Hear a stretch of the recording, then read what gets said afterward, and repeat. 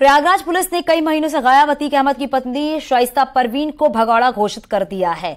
UP police की तरफ़ से उसके घर पर नोटिस भी लगाया गया है। उत्तर प्रदेश के माफिया अतीक अहमद और उसके भाई अशरफ की मौत से पहले ही शाइस्ता परवीन गायब है। यूपी पुलिस ने उस पर इनाम भी रखा था, लेकिन फिर भी शाइस्ता परवीन का अब तक कुछ भी पता नहीं चल पाया।